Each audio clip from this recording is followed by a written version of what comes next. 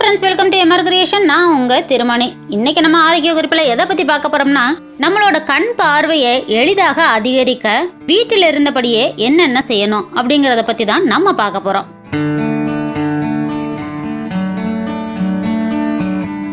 இந்த கடுக்காய் தோல் இருக்குல்ல அதையும் இந்த நெல்லிக்காய் ரெண்டையுமே கொட்டையெல்லாம் நீக்கி விட்டு அதை நல்லா காய வைக்கணுங்க.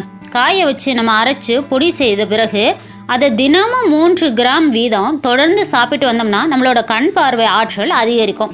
நம்மளோட கண்ணும் நல்லா குளிர்ச்சி பெறுங்க அடுத்ததா இந்த சீரகம் கொத்தமல்லி விதை இருக்கு இல்லையா? அது மற்றும் வெல்லம் இது மூன்றையுமே எடுத்து நன்றாக இடித்து பொடியாக்கி சளித்து காலையிலையும் மாலையிலையும் இந்த பொடியை சாப்பிட்டு தண்ணீர் குடித்து வந்தால் நம்மளோட கண் பார்வை நல்லா தெளிவாக தெரியுங்க. மூன்றாவதா கேரட்டை நூறு கிராம் எடுத்து நல்லா கழுவிட்டு பொடி பொடியாக நறுக்கிக்கணும்.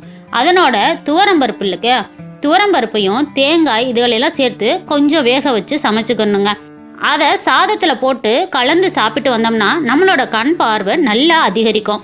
அடுத்ததாக ஒரு மலை வாழைப்பழம் நான்கு ஆப்ரிகாட் பழம். இதை எடுத்து சிறு சிறு துண்டுகளாக நறுக்கிக்கணும். அதனோட ஒரு அரை கப் தயிரையும் கலந்து ஒரு மணி நேரம் ஊற வச்சிடணுங்க. ஊற வச்சதுக்கப்புறம் இரவில் சாப்பிட்டு வந்தால் கண் பார்வை நல்லா அதிகரிக்கும்.